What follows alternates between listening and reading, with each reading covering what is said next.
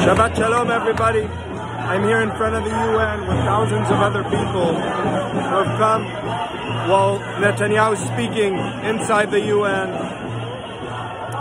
to protest what him and his government are doing in Israel to say that there's no democracy with occupation.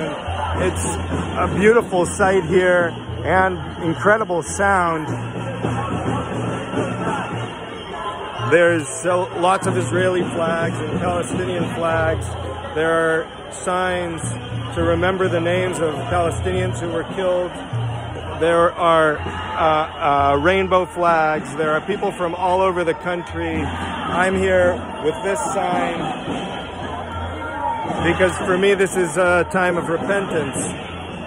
And this uh, week, it's amazing to be here at the end of this week after we open the new year with such beauty and joy, not only at the shul, but also we opened uh, these branches of the school in Cobble Hill and Windsor Terrace with such happiness and sweetness and such belief in our power as human beings to make the world better. And so I'm feeling good to be here in this moment, even though we don't know what will come of any of this, and we never know what the power of our actions is to come out into the streets and to stand up, to stand up for freedom and goodness and love is always a hopeful and beautiful thing.